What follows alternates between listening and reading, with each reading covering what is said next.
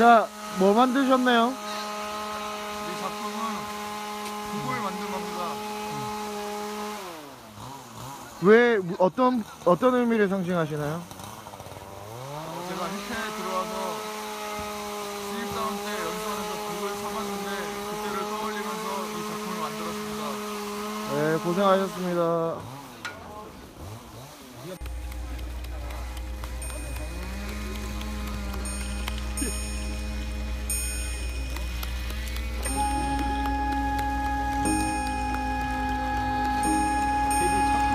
자꾸 망가